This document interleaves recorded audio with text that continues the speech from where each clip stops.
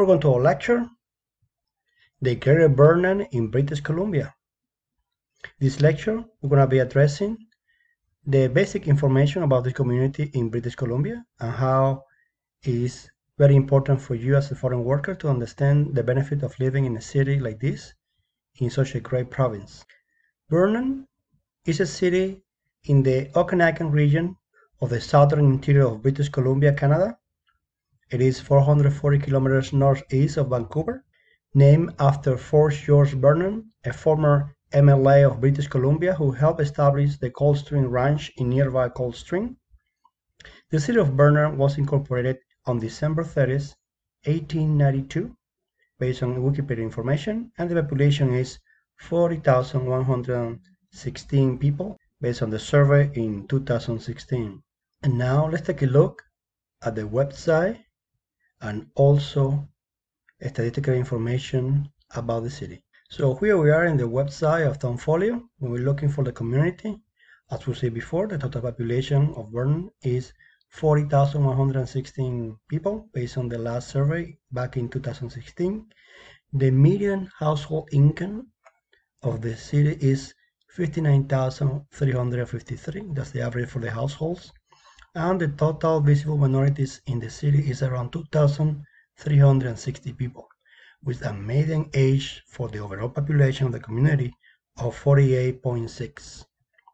So here we see the increase, increasing trend of population in the city, and it's good to understand that the growing rate has been of 1.32 per year over the last 15 years, from 2001 to 2016 but still with the higher median age, it tells us that the city needs newcomers to replenish their economy and to help the society. When we see in the ages that we can see here, the majority of people in the community are between the ages of 50 and from there on 69. So that's a big chunk of population in the city. And if you can see from 50 over, that's more, more than half of the population in the community. So that is what is so important for the community to attract newcomers and immigrants to Canada, and that what opened the opportunity for people, uh, professionals, and speak the languages to qualify under this pilot program. When it comes to household income, we can see the rates here. Most of the people earn on an annual basis more than between $60,000 and $79,000 a year and they have a very established middle class in the community. The visible minority that you can find in the community is basically South Asian, the biggest uh, group population, followed by Chinese, Filipinos, Japanese, and Korean.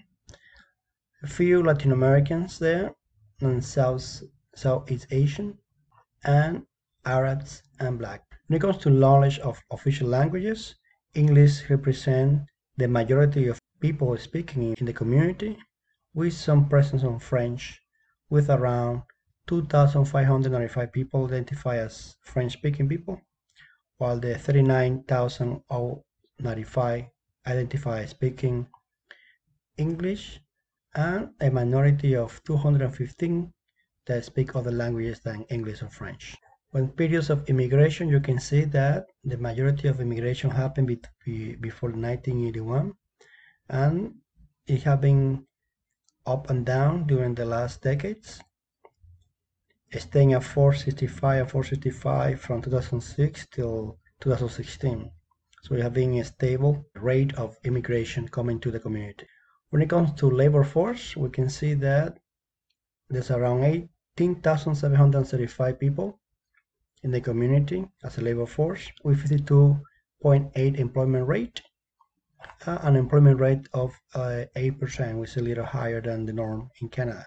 When it comes to temperature, we can see that the highest temperature during the summertime is 36 and the lowest will be minus 23 because it's the location in British Columbia you can see that the temperatures during the winter time are milder than the ones in other provinces. Rain is the most common in this area, so it's a little warmer than the rest of Canada.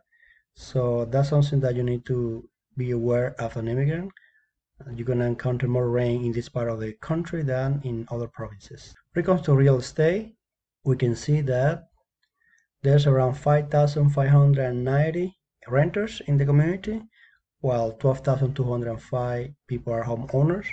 The most popular dwelling site is two bedrooms apartment or houses, and the least popular is one bedroom.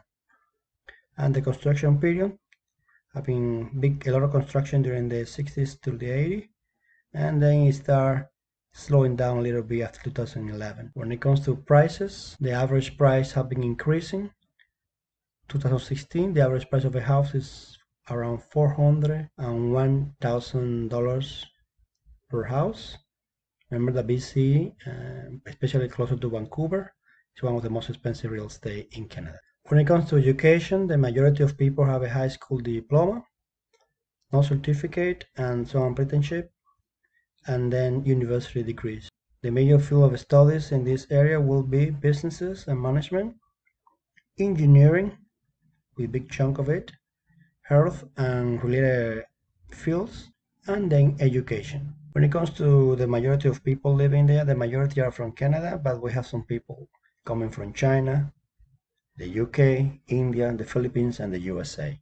The majority of employers are uh, small businesses between one and four employees, followed by employers of five of nine employees. So uh, small businesses are the majority of the companies in British Columbia. Real estate is the biggest industry in BC. Let's take a look at other websites. And now we are in the website of the city of Vernon. In the section for immigration, you can see that you can navigate different choices to explore the website. You have the immigration, the provincial nominee program, the rural and northern immigration pilot program, information about housing, getting around, working, community groups, recreations, dining and shopping and moving, and also some BID opportunities in the city.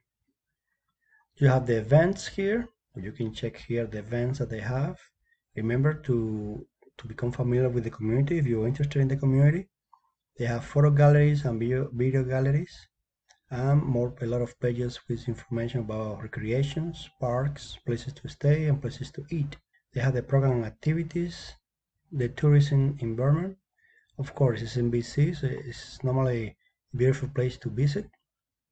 Then you have the park and recreation with more details about the schedule, the booking, and everything. All the information that you might need to learn about the city is in the website.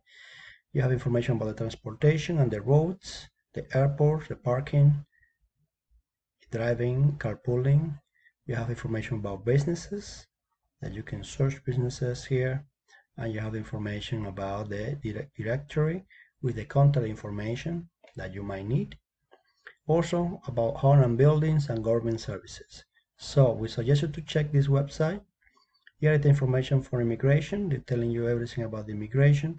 They have some link about immigration to BC and some other links here about different programs and directories. You can also check their Facebook page and here just you can just like and follow. You have information about events, forum, community, and posts and also follow people that are in the page and start your network of contacts before you arrive.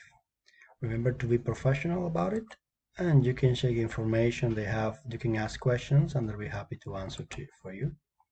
You also can check their YouTube page with videos about the city and airport and a lot of information you might find here in the videos playlists as well.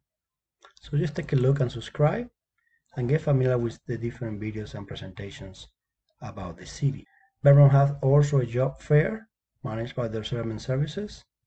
And here of course is postponed by now but if you go to that page you should be able to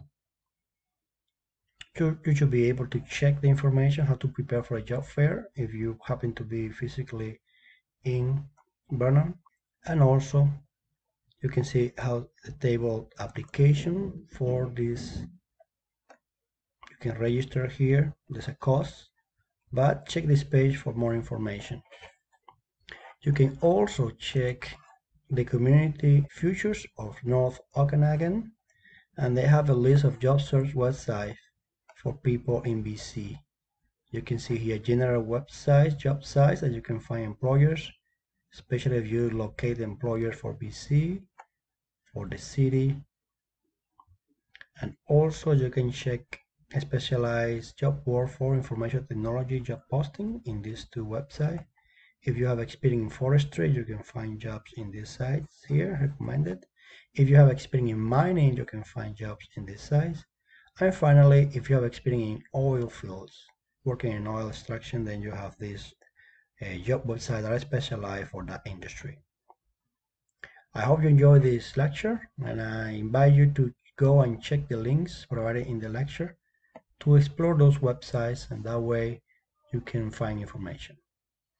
Thank you very much.